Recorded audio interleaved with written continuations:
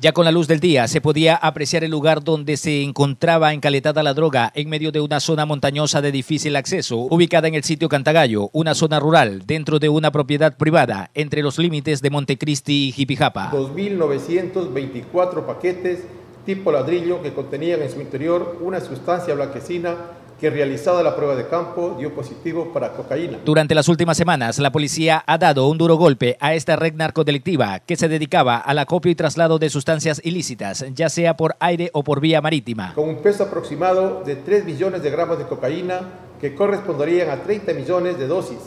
Estos paquetes de la misma forma tenían, tenían señalados varios logos, como las palabras Protex, Somex, COVID-19, tenía también la figura de un caballito y un pavo real. Las personas que custodiaban la droga huyeron del lugar al notar la presencia de los agentes. Tienen comunicaciones, tienen todo.